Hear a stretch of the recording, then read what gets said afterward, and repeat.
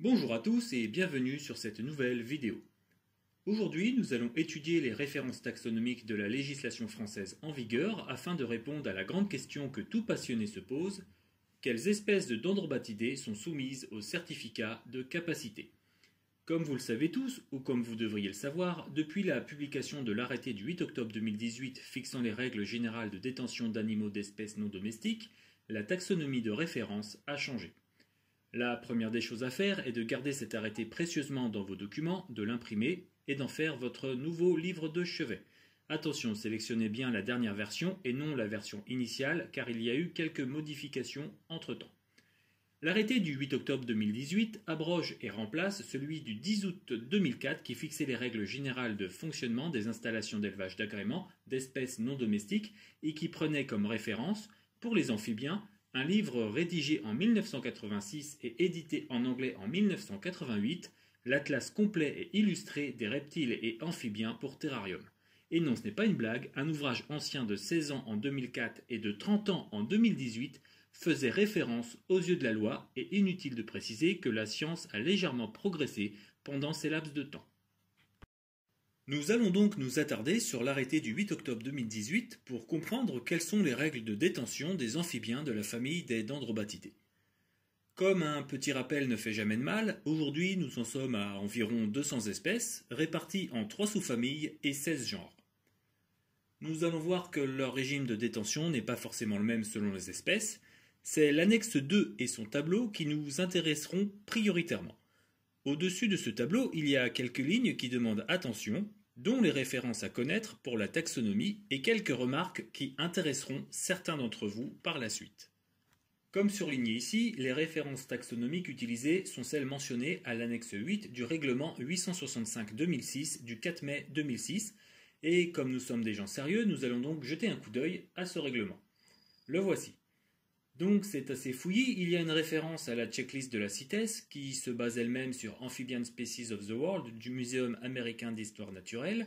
Il y a la référence aux Zootaxa de 2011 qui traite du genre Ranitomea. Très bon papier au passage à avoir obligatoirement dans sa bibliothèque, surtout lorsqu'on possède des Ranitomea.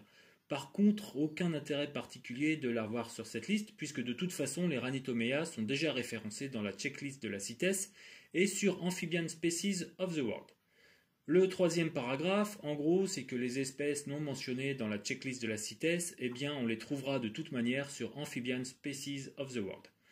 Donc tout ce blabla, c'est juste pour dire que la référence taxonomique absolue, c'est Amphibian Species of the World. Mais bon, puisque la CITES checklist et le Zootaxa de 2011 y sont également, nous allons aussi nous en servir.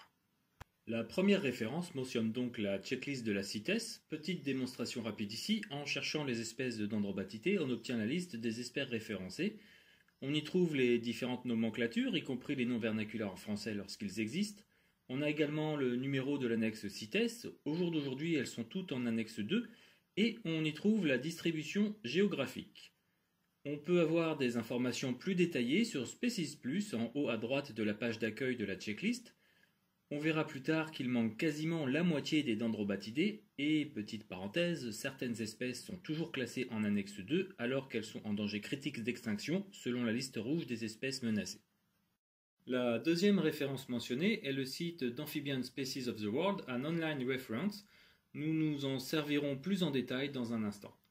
Enfin, la dernière référence mentionnée est celle du Zootaxa de 2011 sur la révision de la taxonomie du genre Ranitomea.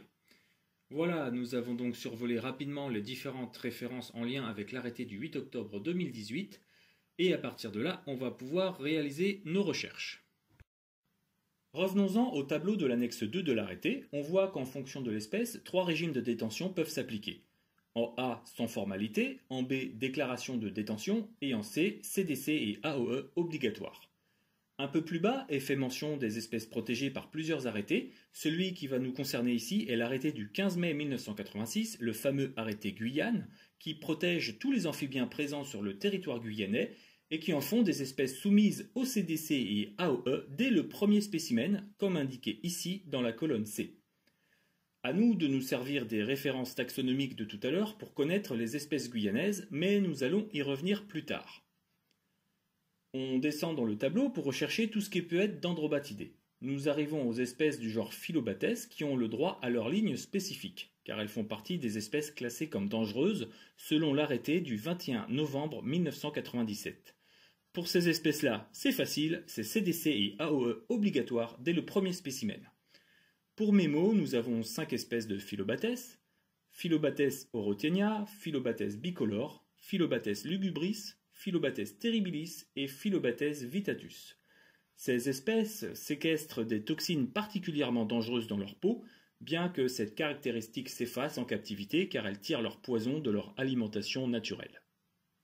On poursuit toujours dans le tableau de l'annexe 2 et on arrive à la dernière ligne concernant l'ordre des anours et qui désignera justement tous les anours non mentionnés plus haut. C'est à cette ligne que la plupart des dendrobatidés sont rattachés. En étant attentif, on lit que cette ligne concerne les anours qui ne figurent pas en annexe A du règlement 338-97 et qui ne sont pas non plus protégés en vertu du Code de l'environnement, c'est-à-dire des spécimens sauvages présents sur des écosystèmes préservés. Donc bien sûr, on ne prélève pas directement en pleine nature, ça c'est évident, mais on revient un instant sur les annexes du règlement 338-97. On voit que toutes les dendrobatidées référencées sont en annexe B, et les plus pointilleux d'entre vous remarqueront d'ailleurs plusieurs choses. La première, c'est que seuls 11 genres sont indiqués alors qu'il en existe 16, et la seconde, c'est que de façon incompréhensible, une seule espèce du genre Iloxalus est protégée sur les 62 décrites aujourd'hui. Comment ceux qui ont pondu cette liste ont eu la drôle d'idée de ne protéger qu'Iloxalus azuré ventris mais pas les autres? Je ne sais pas. Au final, on se retrouve avec moins de la moitié des dendrobatidés qui sont protégés, que ce soit au niveau européen ou international aussi par ailleurs, puisque les Européens se sont contentés de copier-coller l'annexe 2 de la CITES. Bref, on retourne en arrière, ce qui nous intéresse, c'est qu'aucune dendrobatidée n'est inscrite en annexe A, et donc, comme indiqué, jusqu'à 40 spécimens adultes, il n'y a pas de formalité particulière. À partir du 41e spécimen, par contre, CDC et AOE sont obligatoires. Supposons ici qu'un spécimen est considéré comme adulte lorsqu'il a atteint l'âge de procréer. Et voilà, c'est le moment que vous attendez tous, on va attaquer les espèces guyanaises, qui, comme nous l'avons indiqué tout à l'heure, sont toutes soumises à CDC dès le premier spécimen. Le plus important maintenant va être d'identifier quelles sont les espèces considérées comme guyanaises aux yeux de la loi française, et pour cela, nous allons nous servir de votre nouvelle référence taxonomique préférée, qui est déjà rangée, j'en suis sûr, dans la barre de vos favoris. Vous l'avez reconnu, nous voici sur Amphibian Species of the World. Pour trouver les espèces guyanaises, nous allons nous servir de la fenêtre Guide de recherche à gauche de l'écran. Nous allons carrément chercher la superfamille des dendrobatoidés dans l'espace Chercher seulement un taxon. Et plus bas, dans l'espace réservé au pays, vous l'avez deviné, nous allons choisir Guyane française. On clique sur Rechercher et on obtient la liste de toutes les dendrobatoidés distribuées en Guyane. En haut, nous avons la famille des aromobatidés avec une liste plutôt sympathique. Et plus bas, notre famille des dendrobatidés où nous trouvons quatre espèces de trois genres différents. Pour le genre Ameriga, il y a l'espèce Ameriga anelli. Pour le genre Dendrobates, il y a l'espèce Dendrobates tinctorius, et nous allons revenir sur cette espèce dans un instant. Et pour le genre Renitomia, il y a les espèces Renitomia amazonica et Renitomia ventrimaculata. Notons que dans le Zootaxa de 2011, Ranitomea amazonica est clairement indiqué comme présente en Guyane, mais étonnamment, ça n'est pas le cas pour la ventrimaculata. Donc voici, nous avons la liste des 9 espèces de dendrobatidés soumises au CDC dès le premier spécimen, les 5 espèces du genre Philobates et les 4 espèces guyanaises. La vidéo pourrait se terminer maintenant, mais pour ceux que ça intéresse, nous allons discuter un peu du cas de Dendrobates tinctorius et en particulier d'un de ses morphotypes. Cette espèce, et en particulier le morphotype Azureus, est certainement et de loin l'espèce de Dendrobatidés la plus couramment maintenue en captivité, et elle l'était en France également jusqu'à la publication de l'arrêté du 8 octobre 2018 et au changement de référence taxonomique.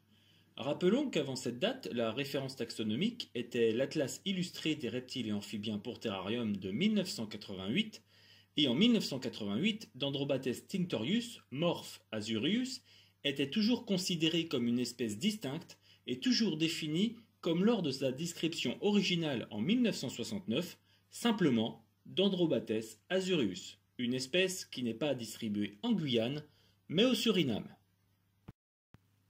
Comme beaucoup d'autres espèces de Dendrobatidés, Dendrobates tinctorius est une espèce remarquablement polymorphe, et on reconnaît aujourd'hui plusieurs dizaines de morphes se distinguant par leur pattern et leur coloration. Cette espèce est largement distribuée sur le plateau des Guyanes, du Suriname jusqu'au Brésil. Chaque population est donc chaque morphe occupant un territoire donné.